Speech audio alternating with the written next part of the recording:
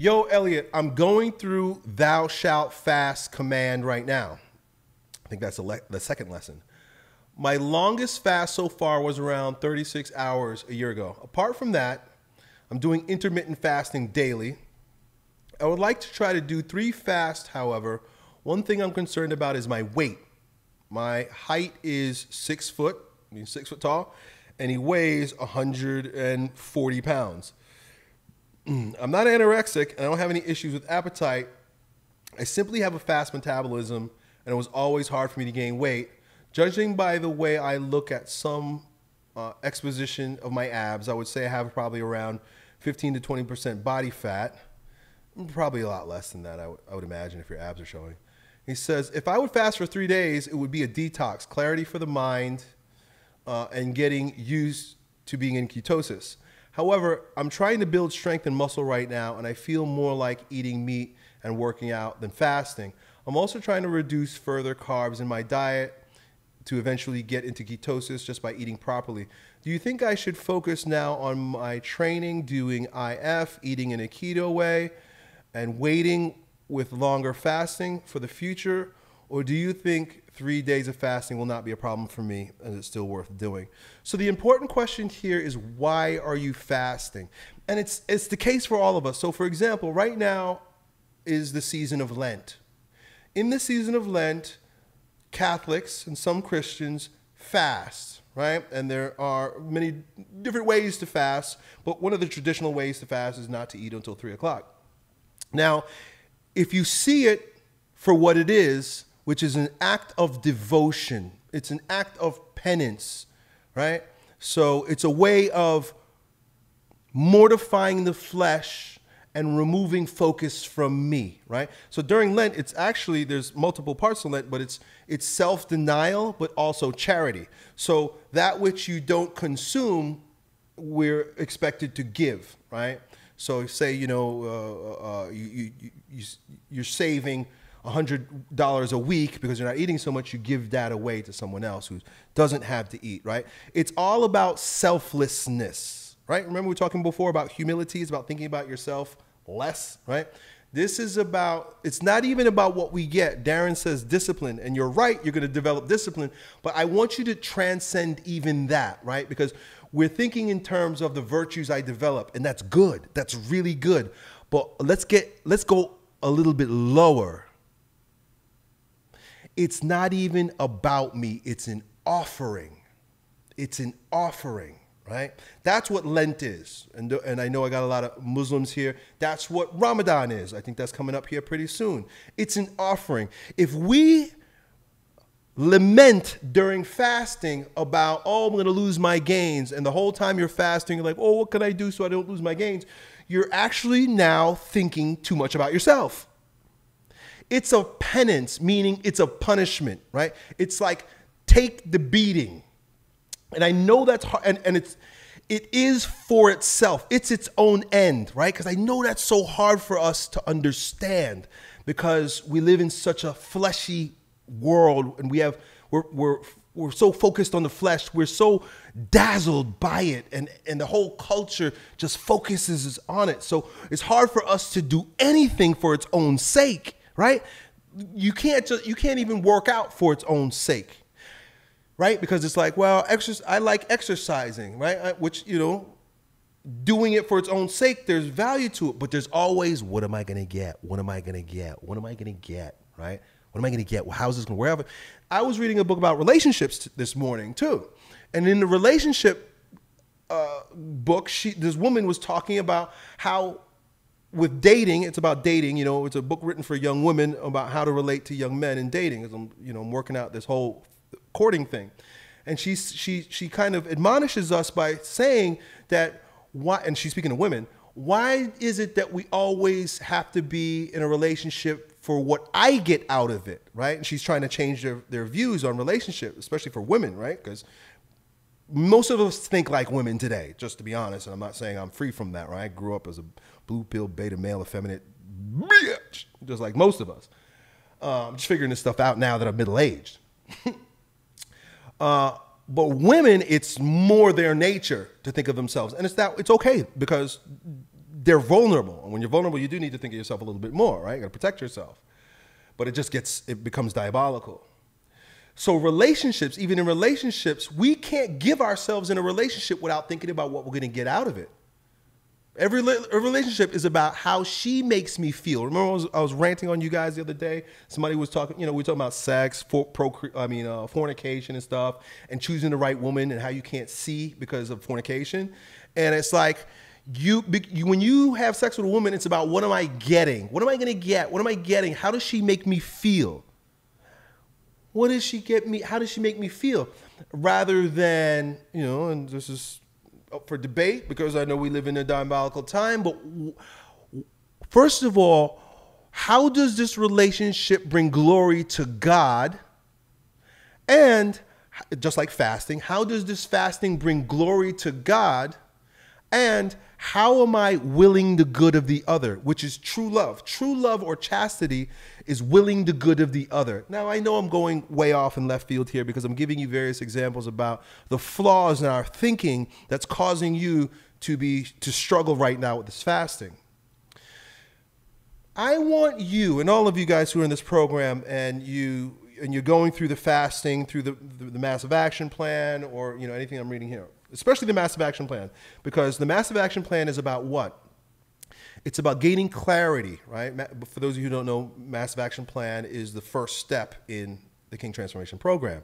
It's about wiping the slate clean, getting clarity, and restarting your life. It's like a, a rebirth.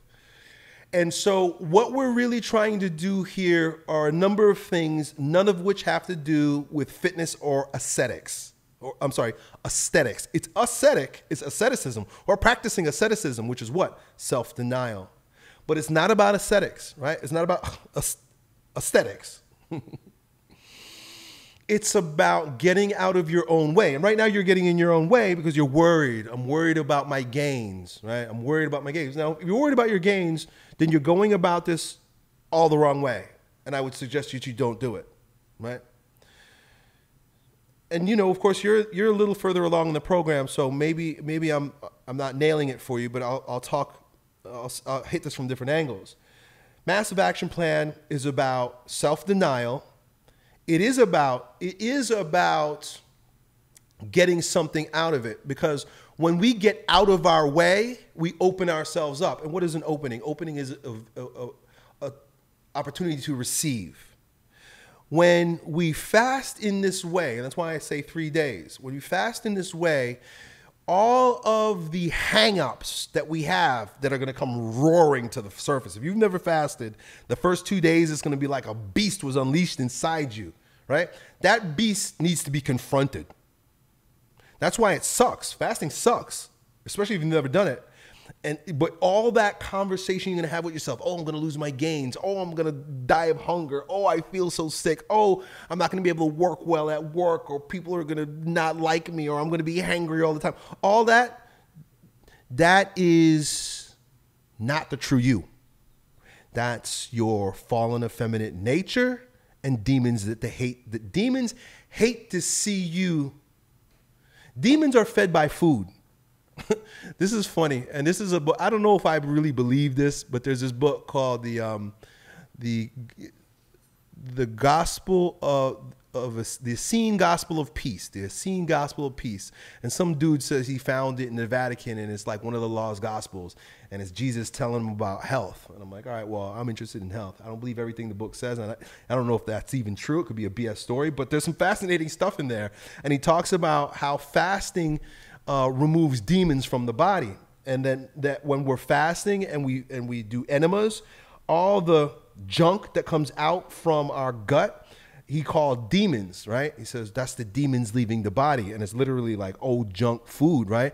But in a way, they create turmoil in the body, right? When you fast and you purge and you finally get all the junk, unprocessed food that has been lining the gut wall out by doing enemas, like I talk about in the program, or salt flushes, all of a sudden you brighten up. Skin looks different. Old injuries start healing. You start like, you become refreshed because there's demons in the body.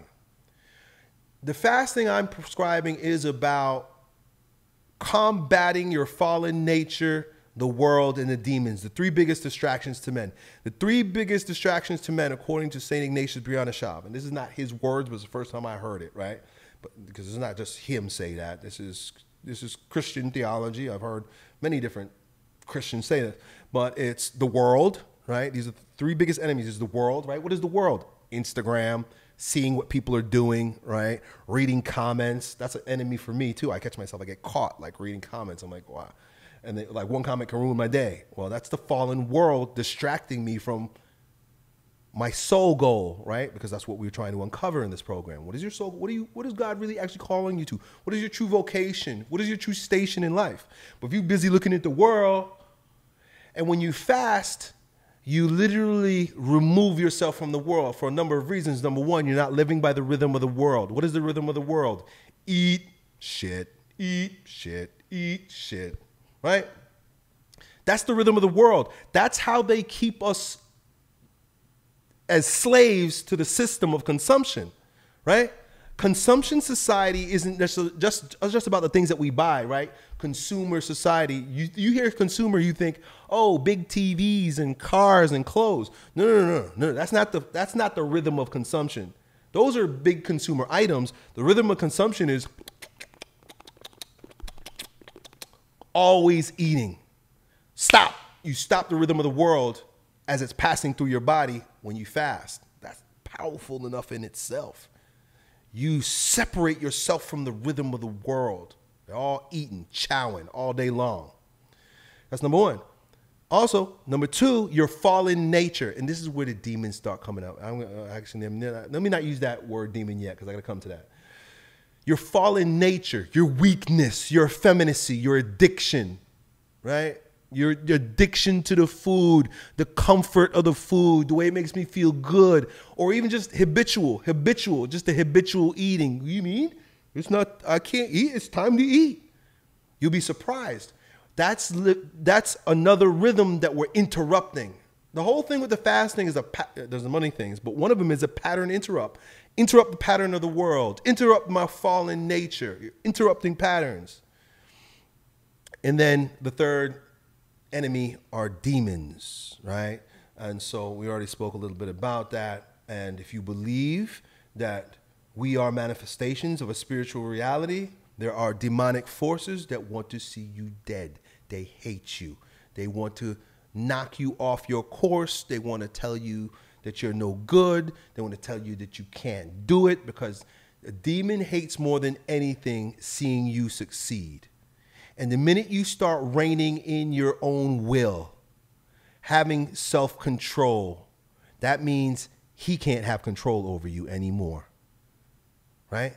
As long as you are out of control because you're living by the rhythms of the world, that demon's got a grip on you because he knows that your habitual ways. But you start breaking those habits that he, that demon doesn't have anything to hold on to, and he starts freaking out. So he starts whispering in your ear, "You're gonna die." uh, you can't do this. You're gonna lose your gains. Uh, and he starts putting all this stuff in your head. Don't listen to him. And so we're fasting to eliminate the enemies so that we can open ourselves up. By the third day, that's not this is not guarantee, but around the third day, those things start to quiet down. Your energy begins to subside. And in that stillness, you can hear the voice of God, right? you start to you start to be more receptive. Let me put it that way, right? I want to guarantee you that God's going to come float down on a cloud and tell you something. It's not going to happen. But you're receptive. You're a bit more receptive. You see things you couldn't see before because you're hypnotized by the rhythms, right? It could be as simple as a book that's been sitting on your shelf for 12 years. But because you slowed down, because the frequency of your mind has settled, you turn one day and you look and you're like, hmm, I've never picked that book up. And you pick that book up for the first time and boom, it blows your mind and it just sets things right. This is what happens. Right? So it's not always God, you know, talking to like Abraham. It's God starts to be able to, Holy Spirit starts to be able to guide, move your head a little bit because your head's not so busy chewing. So if you're fasting for the purpose of clarity in, in, in the first part of this program, it, consider these things. It's an act of self-denial. So if you do lose your gains, that's that. Be willing to sacrifice that. Be willing to sacrifice that. Sacrifice that for the greater good. Sacrifice that for some clarity, right? You you got to give to get, right? It's that way with God. And a lot of people think that Christ gave and that's all. I don't never have to give anything again. I don't have to do anything. I don't have to I don't have to discipline myself. I don't need to mortify myself. I don't have to do good works, right? Protestants are like, you don't have to do anything. Christ did it all. That's not that's, that's not actually true. 2,000 years of tradition tell us that we have to be an active part of this process. You sacrifice, right? From the beginning, God has required sacrifice, right?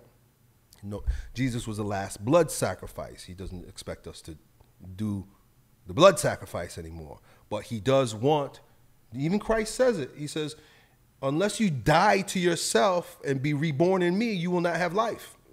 I'm, I'm, paraphrasing, but he says something like that. Unless you die to yourself, unless you sacrifice. When you fast, you sacrifice and you die to yourself. Let yourself die. Let your ego die. So that's the real importance of fasting for this program. Now you're in you're in here, and you know you you haven't mentioned too much in terms of health, but I also teach you how fasting is a cleansing process, right? Autophagy, setting your metabolism back on course, right? So we're not, we don't have this insulin spike and, and crash, right? So it's secondarily, it's a physiological reset and it's good for your health, right? That's why I, I know I look younger. I look younger than I did three months ago, right? I'm fasting. My skin even look better, right? I'm, I'm getting young again, right? People want to know how that happened. Ellie, how do you get young? Well, fasting, fasting. Plus, I shaved. Shaved my mustache. mustache made me look old. Right? Hair growing back. Right? Still got a little bit of thinning right there. I think there's a way to get that back, though. We'll figure it out. But either way, you know what? I would rather do. The only reason why I got hair is because my wife and my daughters. I'm listening to the women, right? Like Adam. They say, "Keep your hair. You look so handsome." I'm like, "No, I want to shave it." I might. You might. Don't be surprised if I shave this hair again soon. Anyway, enough about that. So I think you I think that's enough. He says, uh, should I wait? It's up to you. It really is up to you. It depends on the whole I'll go right back to where we began. Why are you fasting? What are you fasting for? What are you fasting for? And so I gave you two good reasons. Uh, there are many good reasons, right? Developing your discipline. Darren said that he's he's legit. He's right. I just wanted to go a little bit deeper. Did you know that there's a secret psychological and social war on masculinity in the West since at least the 1960s? If you think I'm crazy, you need to watch my new free masterclass. You'll learn the history and origin of this war, as well as how it's affecting your health, your finances, and how females respond to you. If you're a man who's open to a compelling vision of traditional masculinity, financial freedom, success with women, and generous leadership, then you'll definitely want to study this class. It's called Make Men Strong Again, how millions of men are fighting back and winning the war against masculinity. Just click the link in this video or visit MakeMenStrongAgain.com and get this brand new masterclass. It's completely free. It will blow your mind and has a ton of value and it's about 40 minutes long. So make sure that you pay attention and take notes. Why am I sharing this? I'm a mentor to millions of men worldwide on YouTube. So I'm familiar with the biggest reasons why men today are failing in so many areas of their life. And the answer will rock your world but it's not totally your fault. Find out what's really going on. Click the link in this video to watch this class and start taking action today.